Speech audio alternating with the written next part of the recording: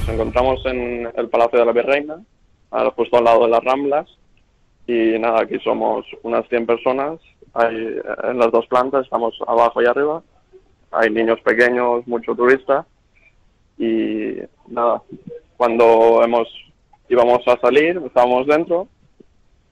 Íbamos justo a salir hemos, y hemos empezado a oír eh, ruido de sillas y gente y no sé si se han oído disparos o ha sido el pánico, pero enseguida la gente ha, corrido ha, corrido hacia nosotros, hacia adentro y nos hemos encerrado aquí.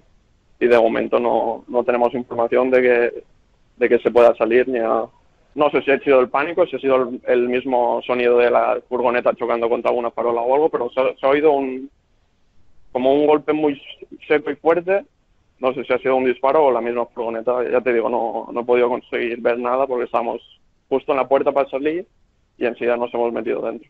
Que hay muchos turistas y somos, me parece que somos de los pocos españoles que hay aquí dentro y nosotros tenemos vídeos, están corriendo fotos y les estamos enseñando, pero también hay muchos niños y tampoco queremos alertar mucho y de momento estamos bastante tranquilos y nada, nos han subido agua también y de momento estamos bien aquí.